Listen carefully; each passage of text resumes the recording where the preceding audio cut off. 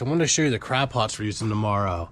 They're from Promar, and they're these heavy duty ambush extra large HD, 23 pounds, 36 inches. I mean, once the crab get in here, I think they're gonna even have a hard time getting out. Really excited to use these. Don't need to add any extra weight. Uh, I already got an underwater camera on there we'll try out. So, night before crab opener. I love it.